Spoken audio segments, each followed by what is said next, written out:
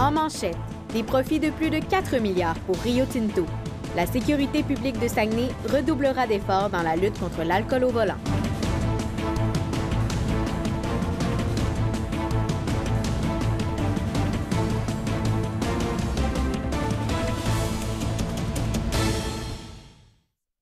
Bonsoir, Mesdames et Messieurs, et bienvenue à ce web journal du mercredi 8 février 2017.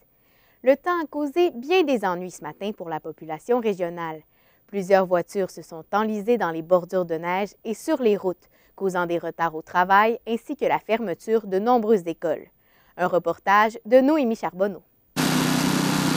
Vent, poudrerie et plus de 15 cm de neige sont tombés sur Saguenay au cours des dernières 24 heures. Plusieurs citoyens ont trouvé le réveil difficile ce matin avant de se rendre au travail. Quand je suis sortie de mon appartement, c'était vraiment difficile. Il y avait beaucoup de neige, il y avait beaucoup de vent. Euh, j'étais bien habillée, mais il faisait froid. Puis euh, c'est ça, c'était difficile. Les trottoirs n'étaient pas tout déneigés. Les élèves et les étudiants de la commission scolaire du Pays des Bleuets, du Cégep de Jonquière et de l'Université du Québec à Chicoutimi ont été les seuls à devoir sortir pour se rendre à l'école. Les classes ont été suspendues dans tous les autres établissements scolaires de la région. Euh, je pense qu'ils n'ont pas bien euh, analysé la situation. Il y avait beaucoup de monde qui manquait dans ma classe, justement. Puis euh, aussi, ça m'a vraiment surprise. Moi, je pensais qu'il allait avoir... bon, que ça allait être fermé. Les routes et les entrées de cours sont en processus de déneigement. Plusieurs équipes de déneigeurs s'assurent que le travail soit complété avant la prochaine bordée de neige. Aujourd'hui, c'est quand même la température, c'est quand même pas si pire. C'est surtout le, vent, le vent qui remplit les entrées, puis pour repasser, puis repasser. Pour certains, la neige en grande quantité est synonyme de plaisir. Elle permet aux amateurs de temps froid de pratiquer leur sport favori. Ah, on va se préparer pour aller faire de la raquette après-midi. Belle journée pour ça. Avec la grande quantité de neige qui est tombée sur le Saguenay-Lac-Saint-Jean la nuit dernière, il est important d'être prudent sur les routes. Noémie Charbonneau, ATM Nouvelles, Saguenay. Les participants du double défi des deux Mario ont pris d'assaut les glaces du lac Saint-Jean ce matin. Accompagné de Mario Bilodeau et de Mario Quentin, la quinzaine de courageux est en route pour la Pointe-Taillon. En passant deux nuits sur le lac, ils comptent atteindre leur destination dimanche avant qu'un prochain groupe fasse le trajet contraire. La traversée permet d'amasser des fonds pour la Fondation Sur la Pointe des Pieds qui vient en aide aux adolescents atteints de cancer en organisant des expéditions d'aventure thérapeutiques. Marc Bouchard se présentera à l'investiture de l'ERD, du district 11 dans l'arrondissement de Chicoutimi le 22 février prochain. M. Bouchard compte plus de 30 ans d'expérience à titre de gestionnaire dans des entreprises régionales.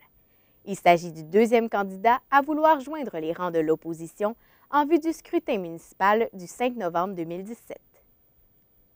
Le directeur exécutif des opérations Atlantique Aluminium de Rio Tinto, Gervais Jacques, a affirmé cet après-midi en conférence de, presse qu'il était fier des bénéfices de 947 millions de dollars pour l'année 2016. Tommy Brochu, quels sont les profits engendrés par la multinationale? Eh oui, Joanie, vous l'avez dit, euh, des bénéfices sous-jacents de 947 millions de dollars pour Rio Tinto euh, pour les produits de l'aluminium. Il s'agit d'une diminution de 15% face à l'année 2015, euh, qui était l'année précédente. Le principal facteur, là, c'est le prix de l'aluminium qui est en baisse, par exemple. En 2015, Rio Tinto vendait une tonne d'aluminium au prix de 2058 dollars, tandis qu'en 2016, il vendait une tonne pour le coût de 1849 dollars. Euh, le Monsieur Gervais Jacques, oui, est bien fier des résultats. On peut l'écouter. Ça demeure des bons résultats, puis on en est fier. On en est fier parce que ces, ces résultats-là, ils ont été rendus possibles aujourd'hui par l'implication de nos employés, par l'implication de nos différents partenaires. Et Tommy, y a-t-il des investissements à prévoir pour les prochaines années? Il n'y a pas d'investissements spéciaux dans une nouvelle usine et puis il n'y a pas de projet d'expansion euh, à l'horizon. Par contre, euh, on expliquait du côté de Rio Tinto qu'on allait investir un total de 300 millions par année et c'est ça depuis quelques années. Euh, on continue des projets de structuration du côté de Rio Tinto. on parle de l'usine Vaudreuil ainsi que du programme de stabilisation des berges. Et est-ce que M. Jacques craint le protectionnisme américain? Oui, en effet, Joanie, euh, M. Jacques et Rio Tinto, en fait, euh, craignent un peu le protectionnisme américain. Euh, on écoute M. Jacques qui dit que, bon, on exporte beaucoup de produits d'aluminium aux États-Unis. Toutes les fois qu'on entend parler de potentielles taxes ou de protectionnisme aux États-Unis, pour nous, c'est inquiétant. C'est inquiétant puisque 80% des tonnes du Saguenay-Lac-Saint-Jean, qui s'en vont chez des clients américains. Et combien de profits a enregistré Rio Tinto? Au total, c'est un 4,62 milliards de dollars qui a été euh, en, en, tout euh, fait par Rio Tinto. Et puis l'an passé, euh, enfin en 2015, à titre de comparatif, ils ont perdu 866 millions. Donc c'est bon pour Rio Tinto. Tommy Brochu, merci beaucoup. Ça me fait plaisir. La sécurité publique de Saguenay redouble d'efforts dans la lutte contre les, la conduite avec les facultés affaiblies et lance la campagne Impact. En plus de présenter la pièce de théâtre du même nom pour une quatrième année, l'organisation s'allie avec l'UCAC et la Société d'assurance automobile du Québec pour conscientiser les citoyens. Raphaël Drouin explique. 284 en 2014, 311 en 2015 et 305 l'année dernière. C'est le nombre de cas de conduite avec les facultés affaiblies par l'alcool ou la drogue qu'a reporté la sécurité publique de Saguenay. Des chiffres inquiétants. Et après année, on a l'impression que les on réussit à baisser le nombre d'événements.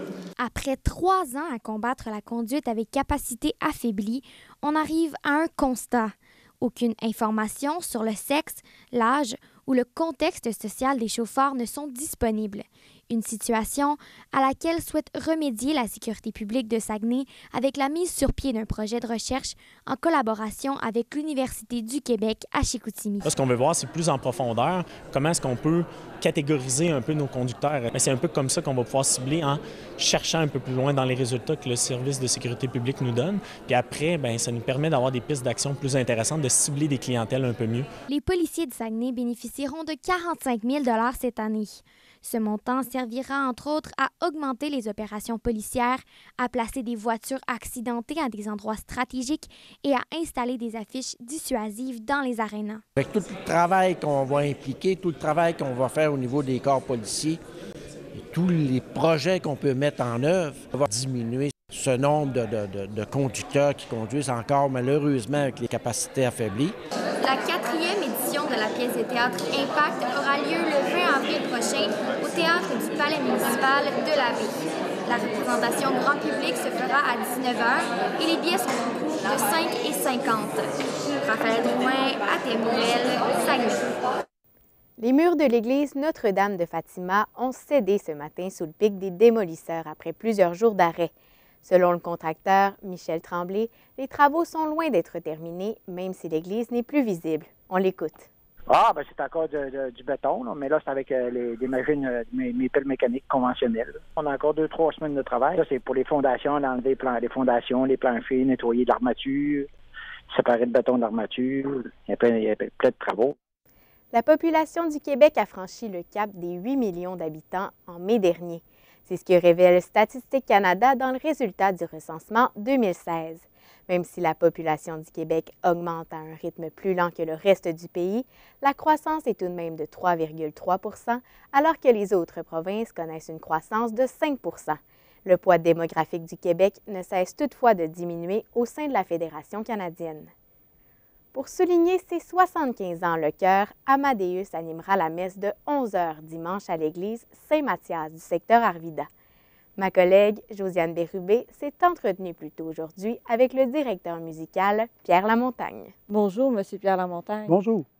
En quoi l'église Saint-Mathias d'Arvida est spéciale pour le chœur Amadeus? C'est spécial parce que pendant au moins dix années, le chœur Amadeus a animé les messes le dimanche matin et suite à la fermeture de l'église euh, Saint-Jacques, euh, c'est devenu comme le point euh, à terre du cœur. Donc, on a plusieurs partitions qui sont là. Puis, même si on n'y va plus vraiment souvent, c'est encore l'endroit où on a certaines choses pour nous. Et pourquoi, justement, faire l'animation de la messe le, le 12 février prochain à l'église? Bonne question. Cette année, c'est le 75e anniversaire de la création du cœur. Et le chœur Amadeus a d'abord été le chœur Saint-Jacques, qui a été créé avec des voix d'hommes seulement pour faire l'animation liturgique des messes dans les années euh, fin 40, 50, 60. Bon. Et pendant, euh, je vous dirais, environ 70 ans, c'était dans le mandat du chœur Amadeus d'animer une messe euh, par, par semaine pour la paroisse Saint-Jacques, maintenant Saint-Mathias. Donc, dans les fêtes qu'on fait pour fêter notre 75e, on a pensé que c'était bon de, de- de revenir au départ à la création du chœur, revenir sur des chants qu'on a fait là, longtemps et de redonner euh, notre, notre service à la communauté, puis euh, célébrer ça- cette chose-là. Et quelles pièces euh, vont être interprétées justement pendant cette messe-là? C'est des pièces euh, connues des gens qui s'intéressent à la musique liturgique, mais euh, on ne fera pas nécessairement des pièces de concert comme euh, Mozart ou des choses comme ça. Des pièces qui vont être chantées à quatre voix mixtes, donc soprano, alto, ténor, basse, euh, qui sont empreintes de recueillement ou de célébration quand, quand ça va être l'entrée. D'accord. Et est-ce qu'il va y avoir une mise en scène spéciale, justement, parce que c'est c'est le 75e anniversaire? Oui, c'est une bonne question aussi, ça. C'est non, il n'y a pas de mise en scène parce que, au départ, quand un chœur chante ou chantait pour l'animation de la messe, le chœur est au service de la liturgie. Donc, il ne faut pas prendre la place. Il faudrait quasiment être invisible, ce qu'on ce qu'on ne peut pas faire. Mais si on se rappelle, il y a plusieurs années, la plupart des chanteurs et des chœurs chantaient dans les jubés d'église, ce qui fait que les gens, à moins de se tourner, ne pouvaient pas voir euh, les gens qui chantaient. Donc, euh, il n'y a pas de mise en scène ou quoi que ce soit. On va être, euh, nous allons être placés à la gauche de l'autel, mais pas où le prêtre est. Euh, c'est en marge. Et les gens vont pouvoir voir. euh, mais l'important, c'est plus la musique qu'on va chanter pour amener les gens dans une réflexion, tout simplement. Et justement, comment la troupe euh, va se préparer pour cet événement-là? Y a-t-il quelque chose de spécial Oui. que vous allez faire? Oui, euh, le chœur répète tous les lundis de 18h45 à 20h45. C'est au, conservatoire. Et depuis déjà euh, trois semaines, on a répété ces chants-là. Et il y a des gens qui chantent dans le chœur qui sont là depuis, euh, depuis 50 ans. il y en a que ça fait 10 ans, il y en a que ça fait 20 ans. Donc, c'est des chants que les gens connaissent vraiment très, très, très bien. Ils ont chanté des dizaines, pas dire des centaines euh, de fois. Donc, ça n'a pas été très long de replacer cette musique-là ensemble. Puis pour les gens qui sont nouveaux, nouvelles, ben, quand tu as deux, trois, quatre personnes alentour de toi qui chantent et qui connaissent déjà le chant, tu l'apprends beaucoup plus vite, beaucoup plus rapidement. C'est des beaux chants, mais ce pas des chants nécessairement difficiles comme euh, des grandes œuvres de Mozart, Bach, euh, Beethoven. C'est quand même pas la même chose. Et est-ce qu'il va y avoir d'autres activités spéciales dans le cadre euh, du 75e anniversaire du cœur? Oui. D'abord, il y a un comité qui a été créé. Je ne voudrais pas prendre la place de ce comité-là, mais ce qu'on en sait pour le moment, c'est qu'on va faire un concert au printemps pour euh, se remémorer beaucoup de pièces que le chœur a chantées en concert. Donc, à ce moment-là, des pièces de concert vraiment, euh, des grands compositeurs euh, classiques. Et euh, on essaie de faire une ré- rétrospective à partir des années 40 avec un chant qui est en grégorien, seulement que des hommes des chants de la Renaissance, en français. Ensuite, euh, l'époque baroque, classique, jusqu'à 2000, 2010 peut-être.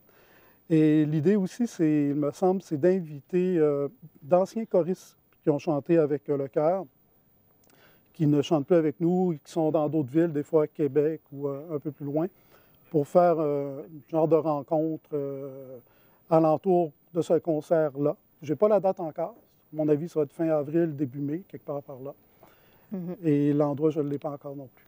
Et euh, rapidement, est-ce que vous recrutez euh, d'autres personnes? Le chœur est toujours ouvert à toute personne qui d'abord a le goût de chanter, qui aime être avec d'autres personnes. Il faut s'entendre, faut bien s'entendre avec euh, les gens. On est quand même environ 60-70 choristes.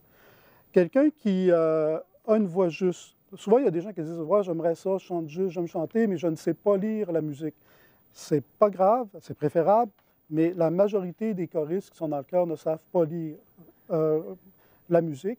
Mais à force d'entendre et de regarder la partition, les gens finissent par être capables de savoir quand ça monte et quand ça descend.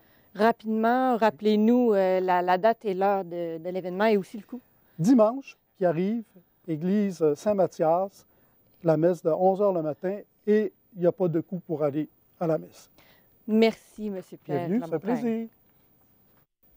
La clinique vétérinaire Sagami d'Alma a officiellement cessé de dégriffer les chats après une étude sur d'anciens patients félins. une initiative saluée par la SPCA Jonquière. Thomas Godreau, le dégriffage demeure tout de même une pratique mitigée. Oui, effectivement, Joanie, euh, ça reste une méthode où est-ce qu'on retire complètement les griffes d'un chat. Euh, si on transporte l'opération sur l'être humain, ça s'apparenterait à couper les premières phalanges d'une main. Donc, euh, ce n'est pas bien pour un chat de se faire faire ça. Selon la responsable de la SPCA de Saguenay, Marie-Pierre Hudon-Thériault, cette opération n'est en aucun cas nécessaire chez les animaux. C'est vraiment seulement un désir des propriétaires qui veulent éviter certaines blessures ou certains bris matériels. Donc, je vous laisse entendre ce que la directrice de la SPCA de Jonquière avait à nous dire.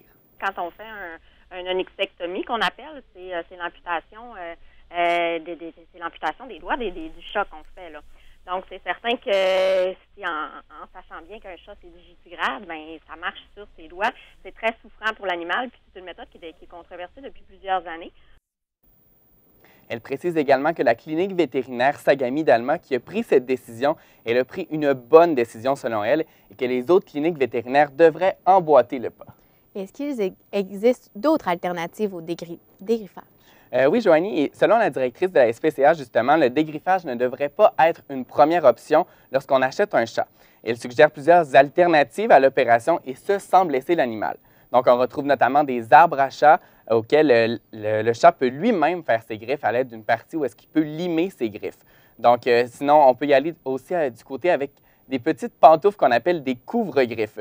Sinon, la directrice de la SPCA explique que le propriétaire peut lui-même dégriffer son chat avec attention, cependant. Je la laisse entendre. Il faut bien comprendre la, physionomie de la griffe et la physionomie des pattes du chat là, pour pas qu'on coupe trop loin ou qu'on blesse l'animal non plus. C'est toujours recommandé d'aller faire faire euh, euh, chez des gens qui sont spécialisés là-dedans, donc soit en clinique vétérinaire pour que les techniciennes puissent le faire ou encore en salon de toilettage. Là. Donc, elle précise également que les caches-griffes peuvent devenir une alternative rigolote un dégriffage qu'on connaît classique. Merci beaucoup, Thomas. Ça me fait plaisir. Le comité organisateur de la 52e finale des Jeux du Québec d'Alma a annoncé la programmation de la tournée de la flamme Rio Tinto qui se déroulera du 11 au 18 février. Symbole du lancement des festivités, elle passera dans cinq villes de la région dont Saguenay, Roberval et Dolbeau-Mistassini. Les Jeux constituent le rassemblement multisport le plus important dans la province et se dérouleront du 24 au 24 février au 4 mars. Pardon. Le théâtre du Faux Coffre revient en force avec le troisième spectacle littéraire des Clowns Noirs. La première de la pièce Le mariage de Diogène aura lieu ce soir à 20h à la salle Murdoch de Chicoutimi. Le texte portera sur la beauté du mariage et l'importance d'une bonne préparation. La production promet de l'émotion. Comme il s'agit d'un mariage, les spectateurs qui feront un effort vestimentaire ainsi que ceux qui offriront un cadeau de mariage emballé profiteront d'un rabais. L'auteur-compositeur-interprète de 37 ans, Patrice Michaud, lancera son nouvel album Almana ce soir au Théâtre Banque nationale de Chicoutimi. Mon collègue Félix Masson l'a rencontré. Patrice Michaud, bonjour. Salut. Euh, tout d'abord, à quoi les gens peuvent-ils s'attendre avec avec ce nouvel album? Euh, à plein de choses, mais certainement pas à, me chercher à travers tout ça. Je pense que comme, comme l'écriture, euh, j'ai fait le deuil, moi, de, d'être très expérimental en musique. Euh, j'écris les chansons presque toujours de la même manière, en fait. Puis j'ai accepté ça. C'est réglé là, dans ma tête. j'ai déjà fait des tentatives pour faire autrement, puis ça me va pas si bien que ça. Fait que le, le squelette de la chanson, euh, je pense qu'on va me reconnaître là-dedans, ceux qui me connaissent déjà. Mais euh, dans l'enveloppe, dans l'enrobage, euh, là, on, va, ailleurs par rapport aux deux, autres disques principalement. Mais on est plus dans un univers de, groove, en fait. Le, drum and bass sont plutôt en avant-plan. On s'éloigne un peu plus du folk. Mais euh, voilà, c'est de la chanson, mais avec de nouveaux habits, je dirais. Mais ça m'amenait justement là à savoir, est-ce que euh, c'est important de préserver un peu le même style qu'on a connu avec les autres albums? Non, j'accorde pas d'importance à ça, parce que c'est comme si euh, je ça m'obligeait à avoir une, une ligne à suivre euh, durant la, la production des chansons. Fait que le but, c'était pas euh, ni que ça soit raccord avec euh, ce qui avait été fait précédemment, euh, ni non plus faire une coupure pour dire OK, là, je dois me mettre en danger. Je... C'est plus simple. Ben, c'est pas plus simple, parce que c'est jamais simple, créer quelque chose, puis après ça, lancer ça vers les, vers les gens. Mais c'est c'est plus naturel que ça, en fait. J'ai oublié ce qui était fait, mais euh, comme, euh, comme ma, je sais pas comment dire, mon, empreinte est, est, toujours euh, décelable sur les chansons, il y a une filiation avec ce qui s'est fait derrière, euh, derrière moi. Mais c'est c'est ni pour faire différent, ni pour être raccord. Fait que ça donne un chapitre 3. Et après ça, les liens à faire ou les différences à observer, je laisse ça dans ta cour. c'est toi qui en seras le juge. Euh, Quand c'est ça, quand on lance un disque, à un moment donné, il faut. euh, on le lâche en fait, là. Et voilà. Et ce troisième album-là, ça a été un gros travail d'équipe. On sait qu'il y a Antoine Graton, Ariane Moffat, Ouais. Qui ont participé. Euh, Qu'est-ce que tu as le plus apprécié là-dedans? Ben écoute, ce- ce- quand on, on arrive en studio, pour moi, c'est déjà euh, un poids énorme qui s'en va parce que je ne suis plus tout seul avec ces chansons-là. Il y a quelque chose d'un peu paranoïaque à, l'écriture des, des chansons ou je pense à la production artistique en général. Euh, toute la première étape, ben, tu es un peu euh, seul avec toi-même. Sais, quand tu écris des tunes, moi je fais ça en solitaire. Puis vient le moment où il faut habiller tout ça, puis ça, ça fait un bien là, énorme d'inviter d'autres artistes qui vont. Puis moi, je laisse beaucoup de latitude, fait que- qui vont y mettre euh, euh, leurs idées, euh, leurs mains, leur cœur, tu sais. Tout, tout est, il y a de la place pour tout le monde. Puis toujours mes chansons en ont bénéficié. Fait que ça, c'est le bout vraiment plus le fun parce que ça devient collectif. tu sais. Ouais.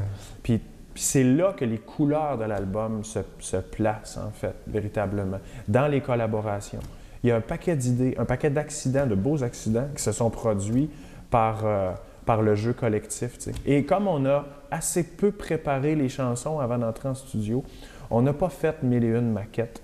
On n'a pas, n'a pas établi les formes de manière très stricte, euh, comme j'avais fait précédemment euh, pour mes deux premiers albums. Puis c'était correct, il me il me fallait un peu plus de sécurité. Là, on est arrivé avec les tunes très dénudées, puis go, on les, on les fouille et on les joue en même temps. Fait que dans ces moments-là où tout le monde est un peu euh, su- sur le edge avec le couteau euh, entre les dents, il y a toujours des belles affaires qui se produisent. Fait qu'on on l'a fait comme ça. Et là, on est ici au Saguenay-Lac-Saint-Jean. Et en entrevue avec euh, le Progrès Dimanche, tu as dit que bon, les gens du Saguenay puis du, du lac étaient Oui. avec toi depuis le début. Qu'est-ce que tu aimes de la région ici?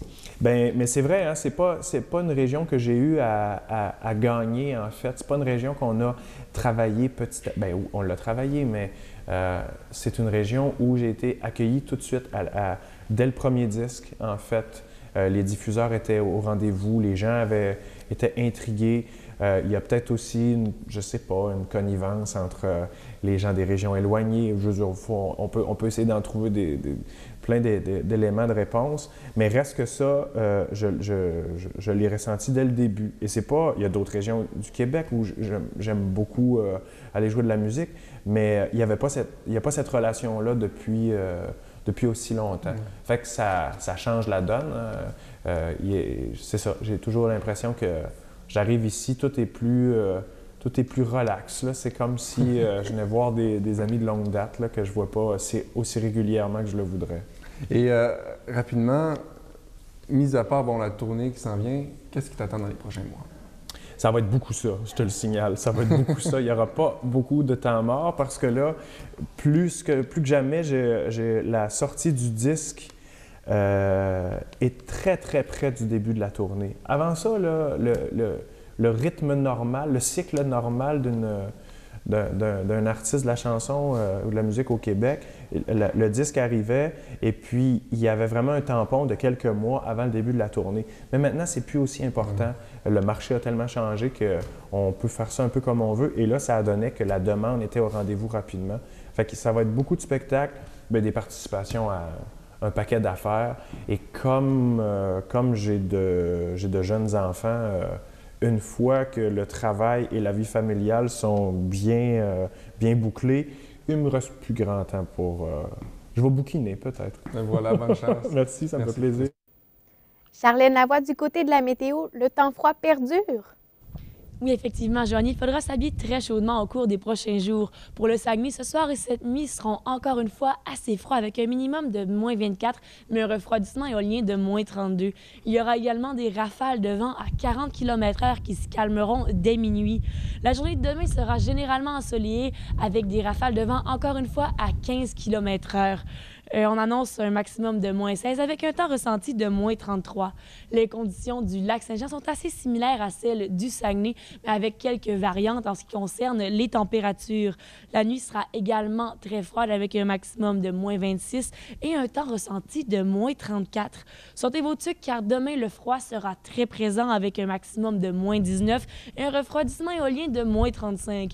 N'oubliez pas de brancher votre voiture cette nuit pour commencer la journée du bon pied demain. Voilà, c'est ce qui complète cette édition du Web Journal. Merci à vous à la maison. Au revoir.